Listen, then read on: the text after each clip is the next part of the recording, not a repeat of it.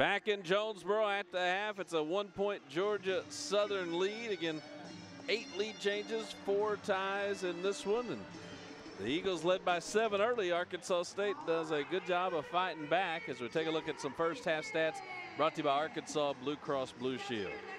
Well, it's it's going to be interesting to see what happens from here. I mean, you've got key guys in this game, and, and Sims, Cockfield, and Tookie Brown all in foul trouble. So how they come back and what they do is going to matter. Arkansas State right now is uh, 10 of 16 from the free throw line.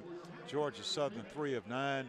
Arkansas State is shooting 44% from behind the arc, though only 37 from the field.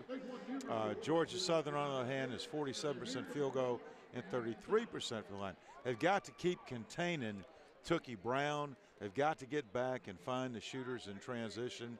And I think if they do those things, they're going to be right there. We'll have a visit with A-State head baseball coach Tommy Raffo when we continue at the half, following a timeout.